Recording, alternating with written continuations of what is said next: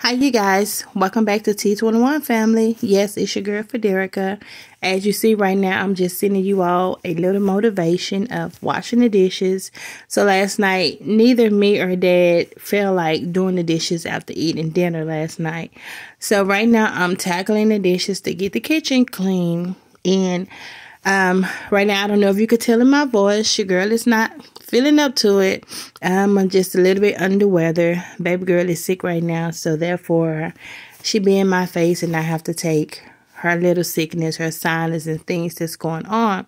So, yeah, if you're new to our channel, let me tell you a little bit about our channel.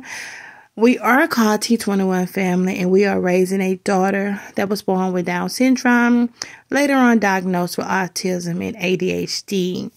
So, yeah, this is our family. If this is a channel that you would love to watch and get to know us, um, stay tuned. Don't forget to like, comment, and subscribe, y'all.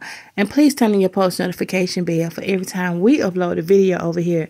Y'all won't miss any type of content. None at all. So, yeah, while I'm under the weather, I I'm really getting this kitchen together.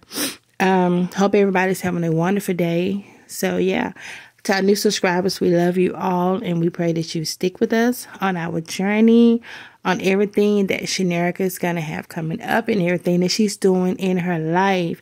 Right now, y'all, she's at school and daddy is at work. So therefore, mom is tackling the house today. I'm doing it slowly but surely, but I'm tackling it. Hope you all have a wonderful day. It's all